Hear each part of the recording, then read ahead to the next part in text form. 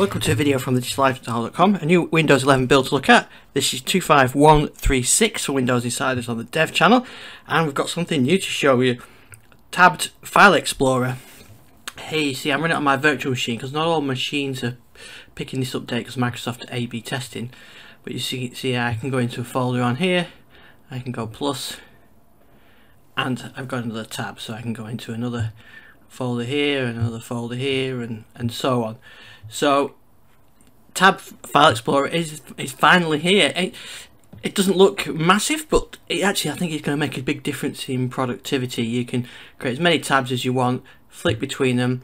What is going to be interesting to see is whether you can actually drag and drop files between tabs. Uh, let's uh, see if I've got uh, something we can try. So I've got a, a picture there Let's go to the videos tab. Yeah, there you go. We can drag and drop between File Explorer. So finally, that's what you want to be able to do where before you had to sort of tile your windows or copy and paste, you can drag and drop between those as well.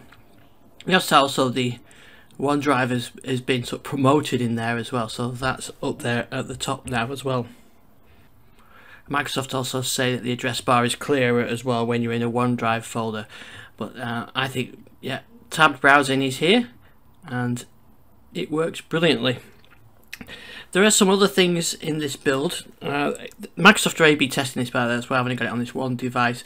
One of the things they're testing is the widgets down here. At the moment that's showing the weather, but it will display dynamic content so it could play a, uh, could show a news alert or a stock alert or something like that and then go back to the weather when it's finished.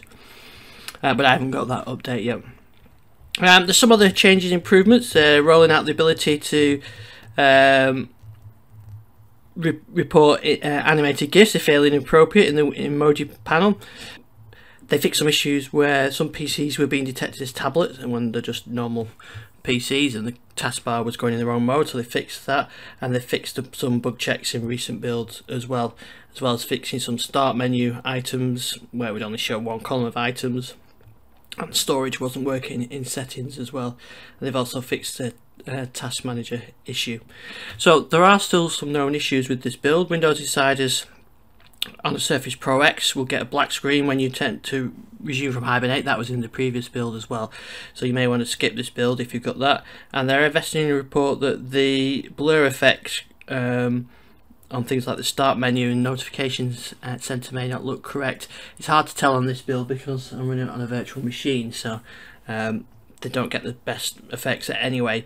But um, I'm going to try that on one of my other machines and see. But that's a known issue anyway.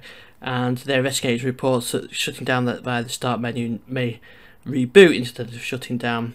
Um, File Explorer may have a misaligned File Explorer tab that they're looking at in the future. So main thing I want to show you in this build is tab browsing in Windows 11. Uh, if tab file explorer I should say in Windows 11 25136 for Windows inside on the dev channel. Drag and drop between tabs and uh, yeah it's looking uh, like this would be a nice feature. So thanks so much for the video. It's a quick one but I wanted to show you this feature. I'll see you on the next build. Check out our YouTube channel and thedigital